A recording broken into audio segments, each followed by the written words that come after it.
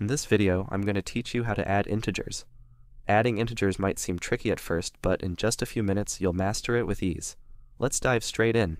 First, grab a piece of paper and something to write with, and let's write down the definition of an integer. An integer is any number that belongs to the set of whole numbers and their negatives.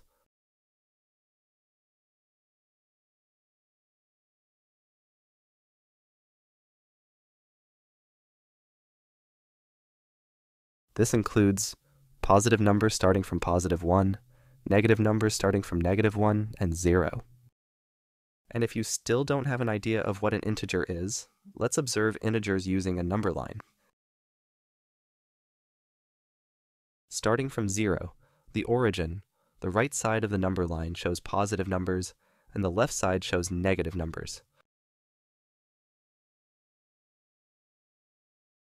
When we move to the right, the numbers become bigger, and if we move to the left, the numbers have a minus sign, which indicates that these numbers are less than 0, smaller than 0, and moving to the left, the numbers will start to become smaller.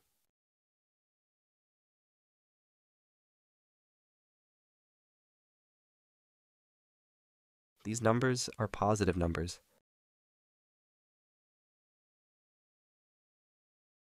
And these, which have a minus sign or a negative sign, well, are negative numbers. Also, a tip to not confuse positive and negative numbers is to remember that positive numbers are on the right side of zero, and negative numbers are on the left side of zero. So now, let me erase these notes.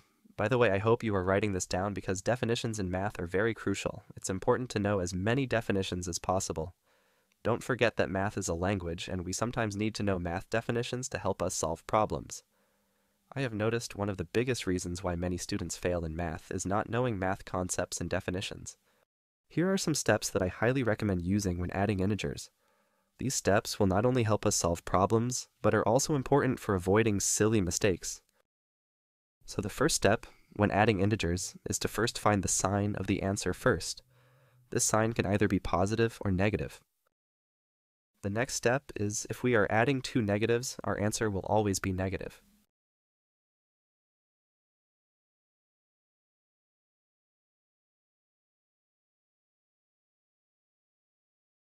Another step to look at in problems is when adding a negative and a positive.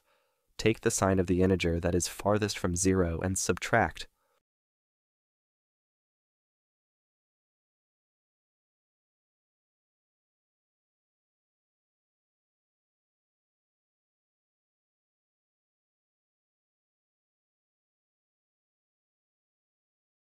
And the last step, which will help you avoid mistakes, is to always look at the problem given and group the negative and positive numbers separately.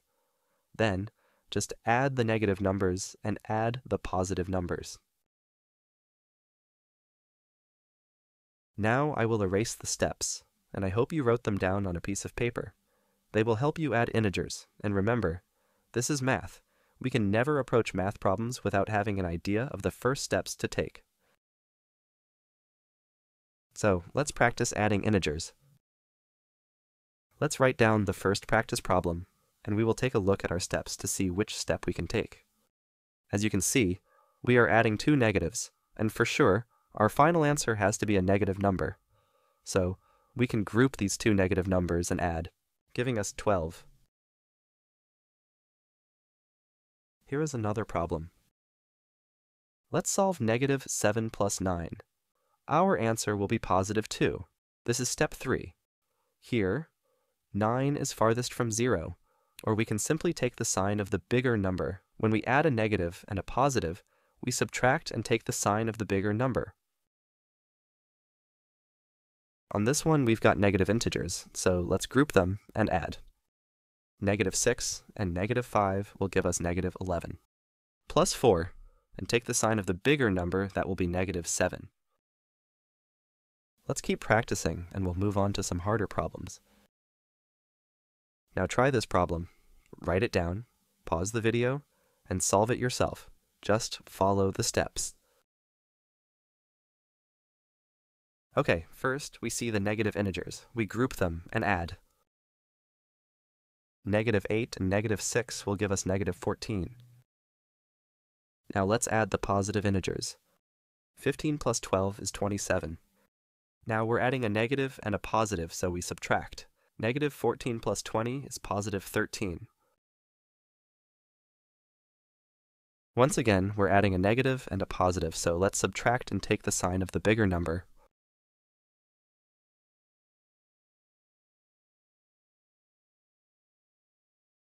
Subtract 15 from 29, and that will be 14. For positive numbers, we don't need to add the plus sign. We just know it's there. Here's another problem, adding two negatives. What happens when we add two negatives? That's right, when adding two negatives, it will always be negative. Our answer is negative 18.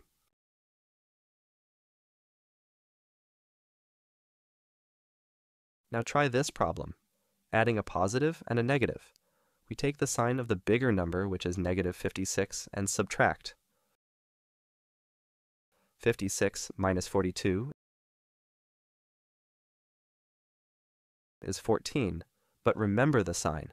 Our final answer is negative 14. Now, if you're enjoying adding integers, please like this video and leave a comment. I can't thank you enough for that.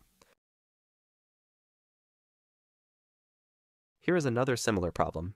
We're adding a negative integer and a positive integer, so we subtract and take the sign of the bigger number. Since the bigger number is positive, our final answer will also be positive. Let's subtract 76 minus 39. We can't subtract 9 from 6, so we borrow from the 7. Now, 16 minus 9 is 7, and 6 minus 3 is 3. Our final answer is 37, and we don't need to write the positive sign.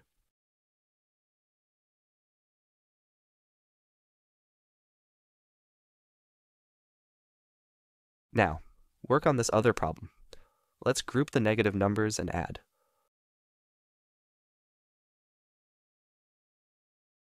96 and 72 will give us 168, but our final answer is negative 168 because we were adding two negatives. Now, work on this problem. Negative 89 plus 27 plus negative 76. Let's start by grouping the negative numbers together and adding.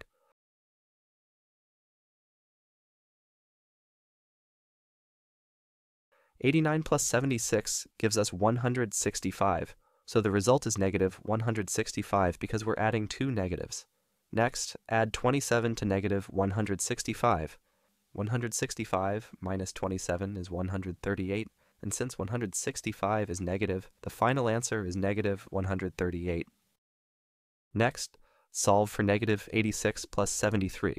We're adding a negative and a positive, so we take the sign of the bigger number, which is negative 86. Now, subtract 86 minus 73, which is 13th.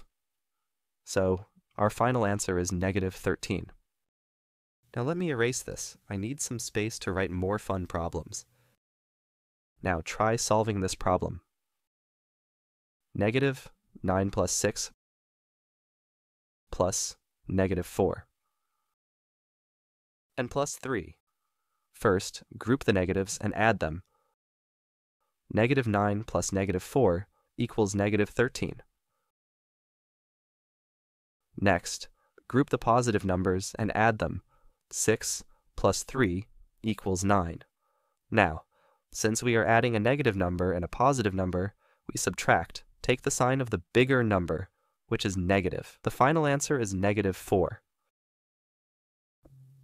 Now pause the video and try to solve this problem.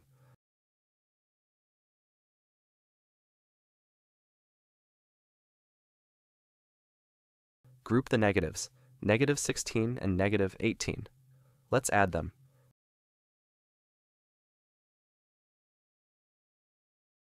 Eight plus six is 14.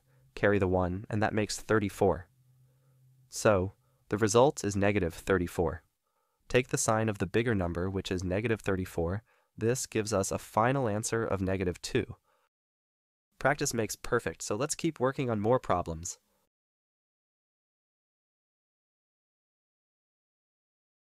Try this problem. By now, you should be pretty good at adding integers. I have a question for you. What's the first thing you should do in this problem? The first thing you should do is group the negatives and add them.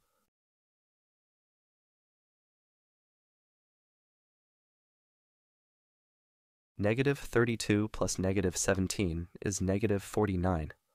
Now, let's group the positives. 16 plus 8 is 24.